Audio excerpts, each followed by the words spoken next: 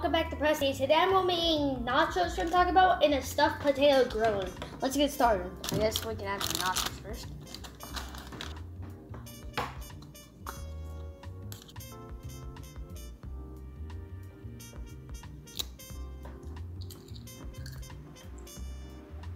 I give it a five star. The cheese is very hot, but these chips are like very salty, so it gets a five star. Now it's time for the stuffed potato griller. Short and stuffed. It's hot.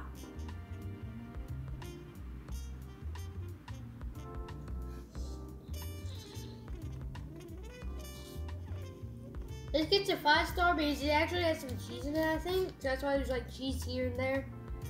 So it gets a five star. I can taste the potato, so it's pretty good. I like the and stuff. This gets a five star. Thanks for watching Preston Eats today. Share, share, love, peace. And don't forget to subscribe.